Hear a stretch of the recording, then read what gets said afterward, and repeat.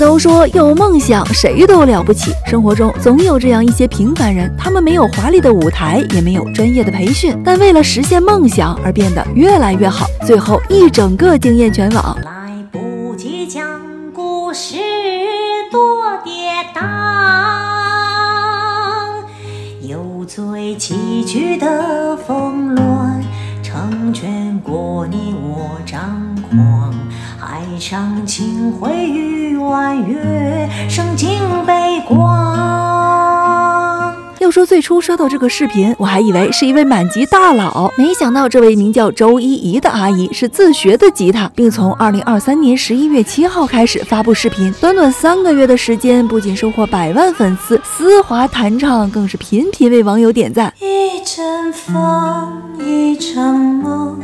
爱如生命般莫测，你的心到底被什么蛊惑？虽说有人说他是音乐教授才唱的这么好听，但我想说的是，我们不能因此就否定了他自学吉他的努力。从他拿起吉他的那一刻，相信就已经打败不少同龄人了吧。爱里快乐。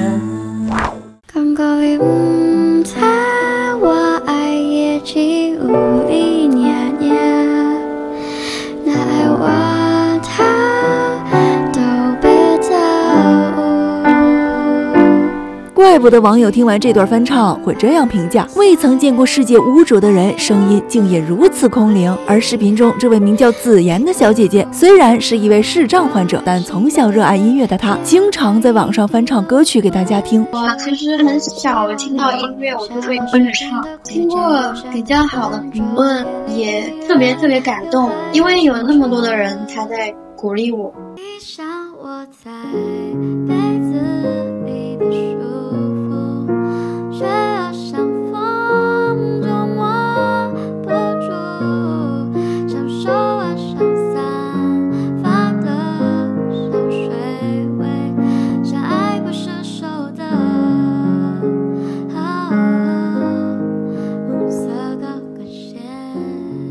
不得不说，拥有如此天籁还积极乐观的小姐姐，真的很难叫人不爱。前段时间，她不仅发行了新歌，还受邀参加综艺献唱。但我相信，未来还会有更大的舞台在等着她。以为通过机会，多了些修炼，路过人间，就懂得防卫。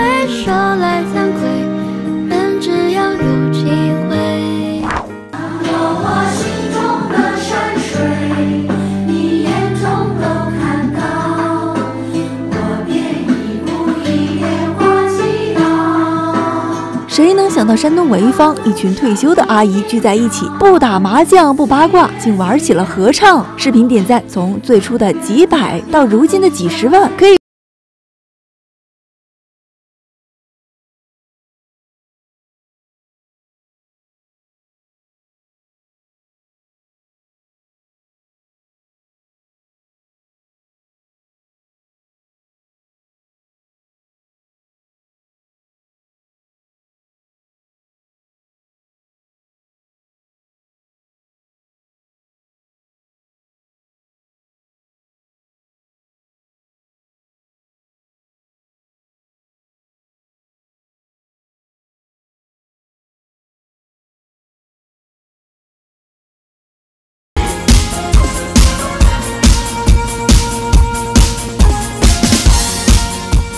当一位八十三岁的老奶奶喜欢上架子鼓，日积月累的训练下，不仅动作利落，节奏把控也是手拿把掐。咱就说说这一头白发也挡不住她的精气神儿啊！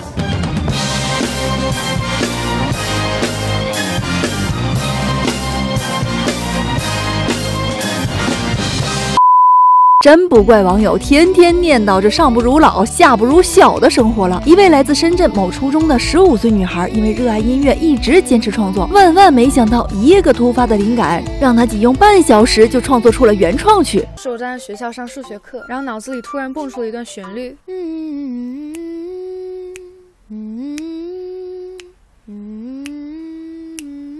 不管你们信不信，反正我拿起吉他，不到半个小时就写完了这首歌的词曲。She got a beautiful eye, walking a line, smile with a tide.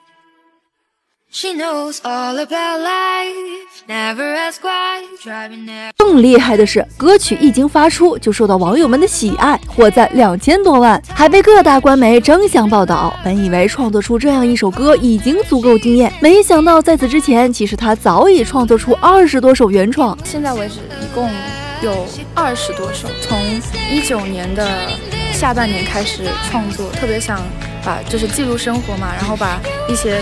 看到的，然后写下来，然后就慢慢去摸索，然后就学会了作词作曲这些。该说不说，有天赋的同时，他还不忘努力和坚持，所以才有了如今这样的成绩吧。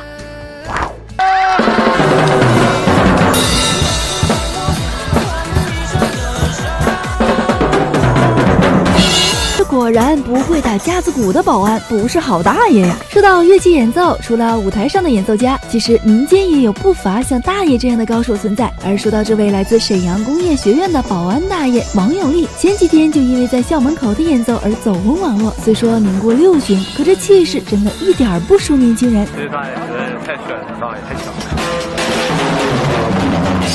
五十多岁的保安大叔，如果有了一颗吉他梦，那生活中简直处处是他的舞台啊！这不，江苏常熟铃木大学的保安大叔就凭借一首好琴艺，分分钟征服了那一年的毕业学子呢。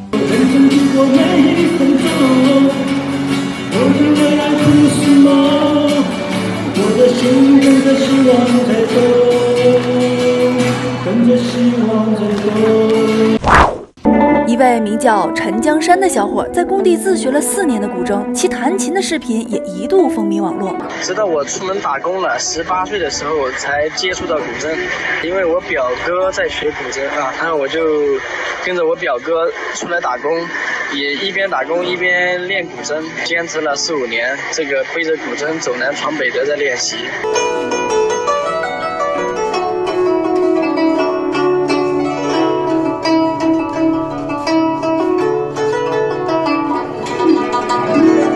舒适的练习室也没有正规的老师指导，但他每天都不忘在工棚里练琴。网友在惊叹他琴艺的同时，其实更佩服的应该是他虽然暂时趋于现实，但却从未停下追逐梦想的脚步。这种精气神儿才真的最吸引人。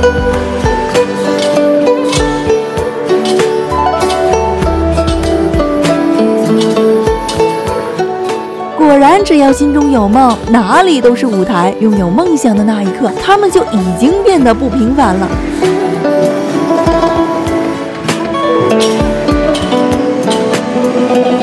好啦，本期节目就到这里。想看更多好听好玩的音乐资讯，欢迎点赞订阅下方音乐官方频道。我们明天见，拜拜。